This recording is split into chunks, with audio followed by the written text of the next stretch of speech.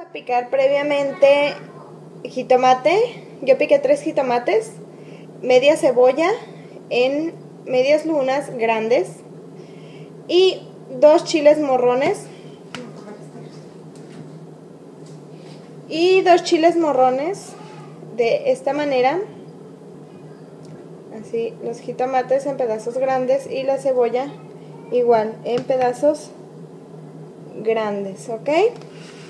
Vamos a necesitar juguito de chiles en vinagre,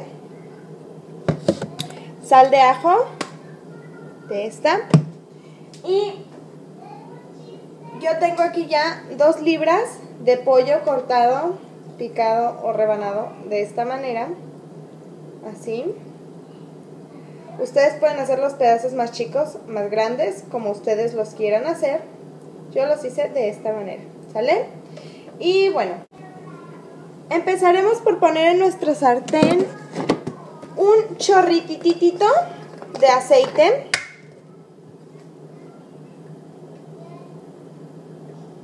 Así. En realidad es muy poquito, muy, muy poquito. Y pondremos nuestra cebolla.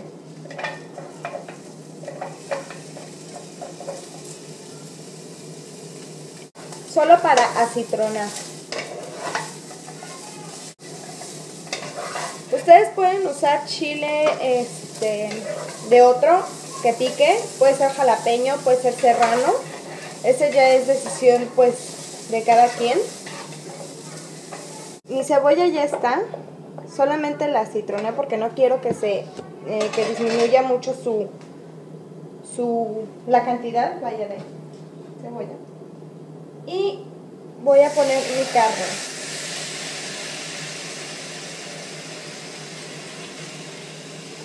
Me enjuagaré las manos.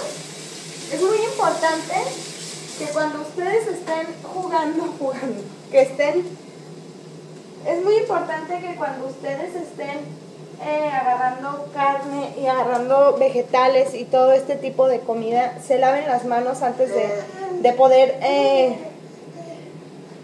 agarrar otros alimentos por higiene, ¿sale? Por eso de la contaminación de alimentos agregamos la sal necesaria para, se ve que sale mucha, pero no sale tanta en realidad.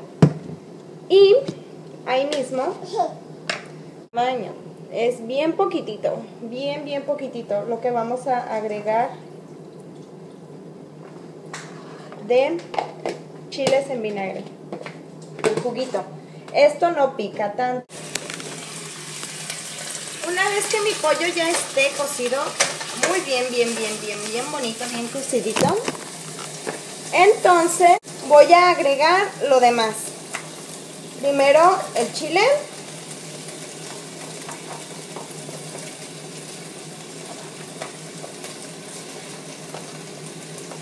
Y como es el que va a tardar un poquito más en, en ponerse como aguadito, pues a ponerse como debe de ponerse pues lo dejaré así por unos, eh, ¿qué serán? Unos tres minutitos. Ya pasó el tiempo que tenía que pasar para dejar esto, eh, el chile, hacerse como se tenía que hacer. Y procedemos a poner el jitomate. Recuerden que no vamos a poner más sal a nuestra comida porque ya le echamos al pollo y no queremos que nos quede muy salado. Y por último agregamos la cebolla. Y ya solo es cuestión de dejar que todos los ingredientes se vean así ya eh, no tiene que quedar muy aguado porque si queda muy aguado este si queda muy aguado, pues no es, no, no se ve así como bonita. Pero ahí está, miren. Se ven bien bonitas nuestras fajitas, ya.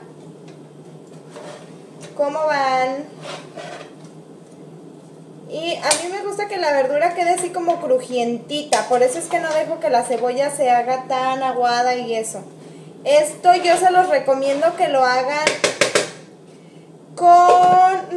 si van a comer a las 3, háganlo, empiecen a las 2 para que a las 3 ya lo tengan listo, ¿verdad? Este, bueno, depende mucho de cómo se cose de rápido el pollo, porque por decir, aquí en Estados Unidos como la carne está súper requete recontra congelada de tiempo, este, se cose súper rápido el pollo, pero en México a mí me pasaba que el pollo duraba más tiempo en cocerse, así que pues ya, depende mucho como de del lugar donde vivas, ¿verdad? Este, pues así fue como quedaron mis fajitas. Al final les dejo una foto para que vean cómo es que yo las sirvo. Y espero que les haya gustado, que lo hagan y que nos dejen sus comentarios. Sale chicas, nos vemos. Bye.